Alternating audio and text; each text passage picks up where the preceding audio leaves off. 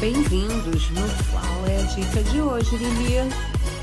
Oi meninas, oi meninos, tudo bem com vocês? Espero que sim, tá? Tô aqui com mais uma dica para vocês, que aliás, uma super dica, tá? E para você que é nova aqui no canal, chegou aqui pela primeira vez, seja muito bem-vinda ouvinda. Espero que as dicas venham para somar, tá? E para todos vocês, gente, quero deixar a minha gratidão. Vocês têm somado, ajudado muito o canal deixando o seu like, tá? Realmente isso soma e eu tenho visto no engajamento do canal, tá? Muito obrigada de coração. Vamos lá? Qual é a dica de hoje, Lili. Vamos para o santo alinhavo. Vambora, gente, santo mesmo. Por quê? Porque se não for um bom alinhavo, o laço não fica armado. Então, para que tudo funcione, para que a mágica seja feita, você tem que acertar nesse detalhe. E por incrível que pareça, tem muitas meninas que ainda têm dificuldade. E eu tô fazendo essa dica aqui para você que ainda tem alguma dúvida, tá? E que gosta, porque eu não consigo focar muito no passo a passo nesse detalhe, tá? E eu preparei para vocês aqui o boutique e preparei esse aqui, que é o amor invertido duplo, porque são dois tipos de laço. Um que você vai unir, tá vendo? Para você deixar ele o mais próximo possível, e o outro que eu vou fazer um boutique na casinha, tá vendo? Ó, ele já está prontinho aqui. E agora eu vou fazer esse daqui juntinho com vocês, tá? Vou deixar a medida, porque algumas meninas às vezes pedem. O próxima dica que eu vou fazer, gente, vai ser opções de base, tá? Então, você vai ficando atenta que entre os passos a passo, eu vou estar tá colocando dicas para melhorar, tá? Aquelas dicas para somar. Então, não perca nenhum detalhe porque sempre nos vídeos eu vou colocando muitas dicas no meio e esse daqui não vai ser diferente. 62 centímetros e 57, tá? Vamos lá? Geralmente eu deixo 5 centímetros, 6 de diferença. Aqui eu já fiz a dobra e fiz a marcação, tá? Deixei ele prontinho para poder armar com vocês só pro alinhavo, tá? Ó. Agora eu vou trazer ele. Não gosto de cola, eu gosto de fazer ele limpo, bem limpo, para o meio não ficar muito grosso, tá? Tá vendo?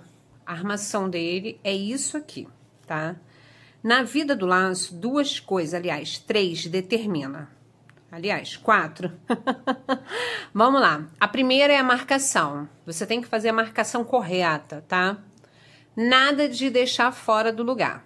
Senão um lado vai ficar maior que o outro, tá? para entrar em harmonia. Segunda, o alinhavo. O alinhavo é o que determina como que o laço vai armar. Terceira, o acabamento, tá? E quarta, a fita.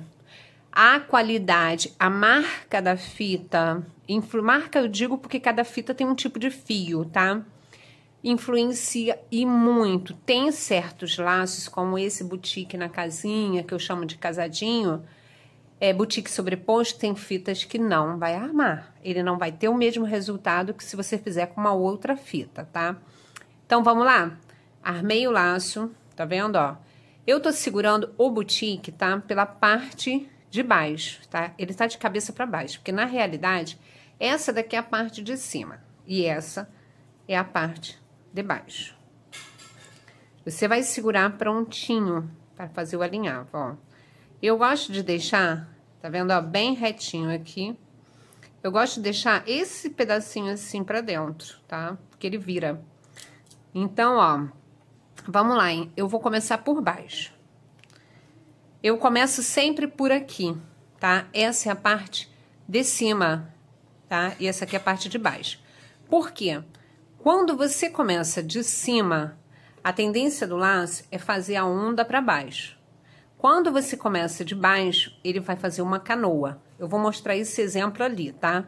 Então, ó, um, comecei de baixo. Eu nunca pego muito na ponta, tá vendo? Eu deixo esse espacinho aqui. Um, puxei.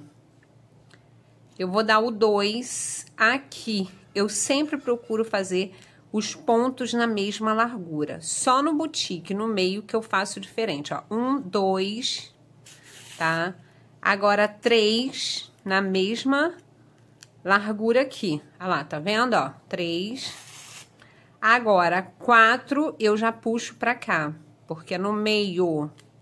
Olha lá, quatro. Ó. Vou puxar ele pra cá. Olha a distância do quatro, hein? cinco, tá vendo? E agora, seis. Olha lá. Pode observar como ficou. Vou virar para você ver do outro lado, ó. Aqui, ó, eu nunca pego ele na pontinha, tá vendo? Ó. Também não. Vamos tirar agora o alfinete, tá? Vamos lá. Tirei aqui. Vou tirar aqui, tá? Agora, nós vamos puxar. Ó, aqui no meio ficou bem mais larguinho. Você puxou, ó, vai puxando, fechando, que ele já vai armando, tá vendo? Olha lá, ó. Bora. Vou voltar, tá? Prontinho. Olha como ficou esse alinhavo. Agora, eu vou voltar mais uma vezinha, tá? Pra poder segurar a fita. Ali, ó, a parte de cima, ele já sai totalmente armado, tá vendo, ó?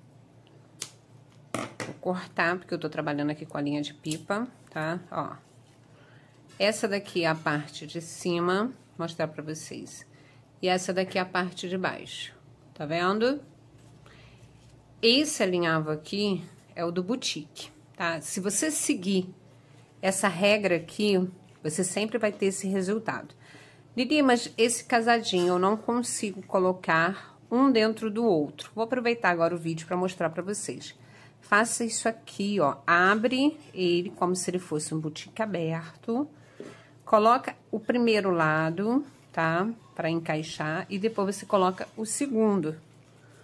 Tá vendo? Olha lá. Para poder estar encaixando, olha lá. Um dentro do outro, ó. Vou mostrar para vocês aqui, ó. Ali.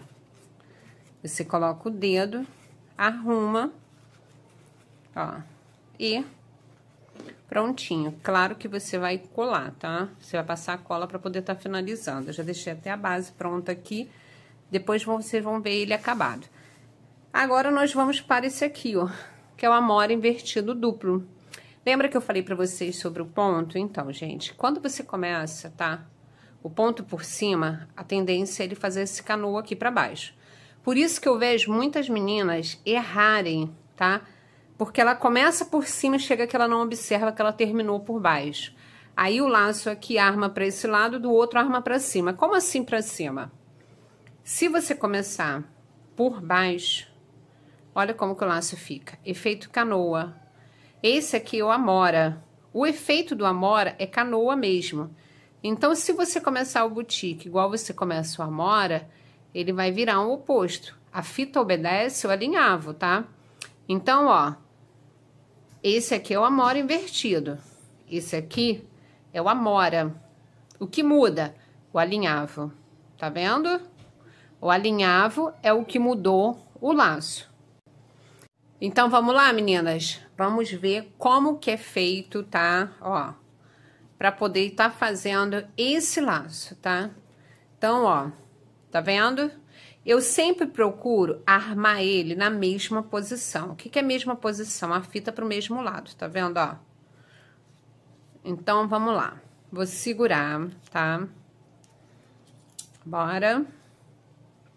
Um pouquinho antes ali, ó. Esses são laços no estilo Amora, o laço Juju, o laço estilo, é, o laço Amora invertido tem o mesmo alinhavo daqui, tá?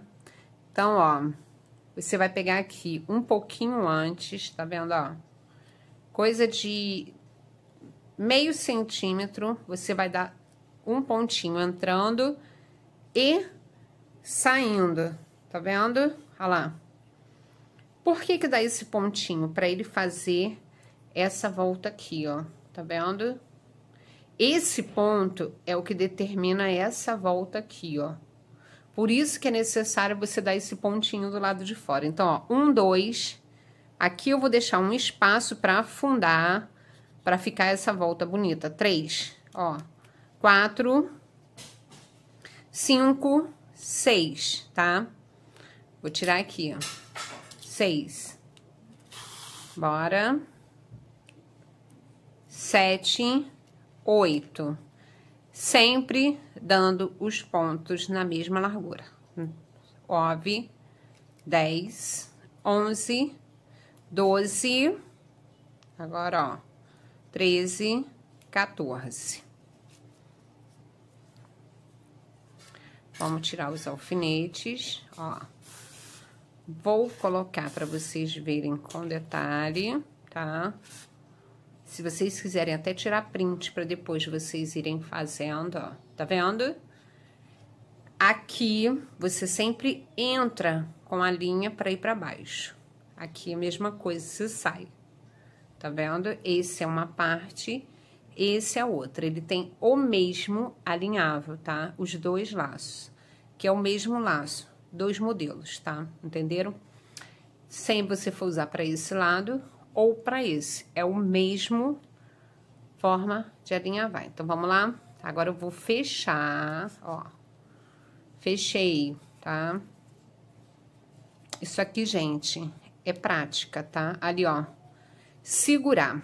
Lili, sempre segurando, tá? Sempre para você voltar, porque agora na hora que você voltar é como vai ficar, tá? Então você vai botar a agulha e vai voltar. Se você não segurar isso aqui direitinho, o que que vai acontecer? Ele vai fazer tipo é, é, arredondar na hora de colar, não fica muito legal. Olha aqui, nem finalizei, olha o resultado que teve, tá? Esse aqui mesmo. Agora, deixa eu pegar aqui o alicate para poder ajudar a puxar a agulha. Então, vamos lá, ó. Ok. Deixa eu fazer isso aqui. Peraí que embolou aqui. Bora. Puxando. Isso aqui acontece. ó. Agora, vamos cortar aqui, tá? Prontinho. Vou mostrar pra vocês aqui, ó. Tá vendo? Isso aqui, tá? Agora, virar o outro lado pra vocês verem. Olha, isso aqui. Viram? Não tem dificuldade. É assim que funciona. Tá aqui uma dica que no meu ponto de vista é muito importante, tá? Muito mesmo. Espero que vocês tenham gostado, que some, tá? Com vocês, que isso venha agregar no acabamento de vocês. A próxima dica eu vou vir falando sobre base, tá? As bases, como escolher a base, como, é, quando, tamanho, cor, tudo, entendeu? Com gabarito, sem Vou estar tá trazendo essa dica para vocês. E em seguida cola. Se você tem alguma dica que você acha que a Lili possa trazer para vocês, que venha somar, que eu já saiba, ou que eu não saiba, que eu procure saber para poder vir somar no trabalho de vocês, no meu, no nosso, deixa no comentário. Deixa a sua dica aí, tá? É, que eu vou estar tá olhando e eu vou estar tá respondendo e eu vou estar tá acompanhando e trazendo aqui, porque juntas nós vamos fazer a diferença desse artesanato. Porque nós estamos aqui um para levantar o outro, tá bom? Deixar uma mensagem? Vou deixar uma mensagem que tem em cima da minha mesa, tá? Uma mensagem que eu gosto muito. Eu não sou perfeito, eu sou original. Não queira ser perfeito em tudo, queira se aperfeiçoar por você. Competir na vida, a gente não compete com outra pessoa, a gente compete com nós mesmos. Hoje eu sou melhor do que eu era ontem e amanhã eu quero ser melhor do que eu sou hoje. Não para ser o melhor, Não porque eu quero disputar com alguém, mas porque eu quero, como um ser humano, sempre procurar o melhor. E o que, que é melhor? Melhor é você acreditar no seu sonho. Melhor é você embarcar no seu sonho. Melhor é você cuidar da sua horta. Melhor é você colher da sua horta. Faz o seu caminho, planta o seu fruto, cuida, rega, que você vai colher. Sendo um bom ser humano, a vida te favorece. Então não seja perfeito, nem queira ser perfeito. Seja original, o original da sua vida, tá? Que você vai ser especial. Um beijo no coração de cada uma. Fiquem com Deus, tá? E até a próxima dica.